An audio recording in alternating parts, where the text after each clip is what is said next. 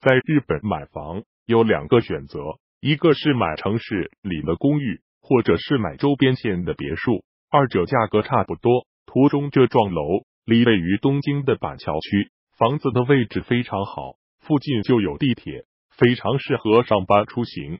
图为其中一房子平面图，房子很小，室内专有面积只有三十平米，因为是二手房，房子卖价两千四百八十万日元。和人民币一百四十九万左右，包含精装修和家电。图为房子内部，刚刚装修完，很新。浴室、洗漱、卫生间三处都是独立的，互相不兼有。